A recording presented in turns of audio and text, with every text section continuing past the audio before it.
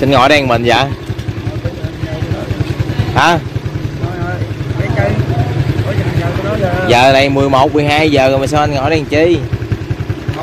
chưa hả 11 12 đêm với trưa cái gì? À, anh ngồi đây có khi nào anh thấy màu hả? Quỷ mà không sợ luôn hả? Ghê vậy? Ghê ta gì vậy chờ em xíu anh. Em, em xuống em chơi với anh xíu ha vậy có anh ở đây em không sợ rồi. Em xuống. Em xuống này nè. Giờ gì chín giờ giờ này anh biết mấy giờ chưa? Giờ này là 12 giờ 11 mấy 12 giờ rồi. Ma anh cũng không sợ luôn. Tao đó tao thường đi bắt quỷ con ma tao không biết. Không anh đi bắt quỷ luôn hả? Vậy có cái câu chuyện nào anh kể em nghe được không? Thôi. chuyện chuyện gì đâu kể. Mà à, lúc mà im nói anh đi bắt quỷ nó làm sao? Nó nó ra làm sao? Mày thấy rồi. Hả? Mày thấy rồi. Mà quỷ nó ra làm sao?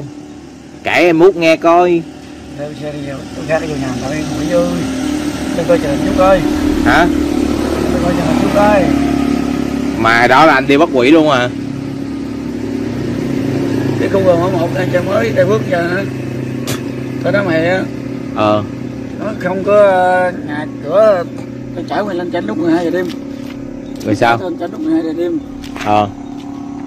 Chụp với con quỷ thành tâm lên cho nó dẫn mày. Mày thấy mày thấy cái cái đấy rồi vậy mai đi không? Rồi nó lạng hết ráo rồi còn nữa là đi. Leo vô. Cái chiếc cửa mấy chú bán á. Mà từ đó giờ anh thấy quỷ luôn hả? Tôi vòng vòng. À, anh anh dí cho em vào luôn hả vô rồi bắt luôn. Hả? Đó theo như mấy bạn được biết á, thì người đàn ông này á, là ổng ờ, nói là ổng từng đi bắt ba bắt bắt quỷ luôn. Dí ma chạy một vòng chạy té đáy té cứ luôn.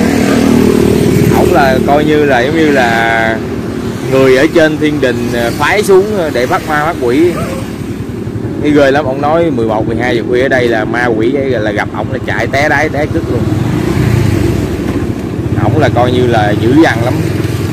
Mà bây giờ mình kêu ổng đi ờ, chở mình ờ, coi ổng đi bắt ma bắt quỷ mà ổng chịu bắt. Đi không anh. Đi không? Bắt cỡ hoài. Mai em chở anh đi ha.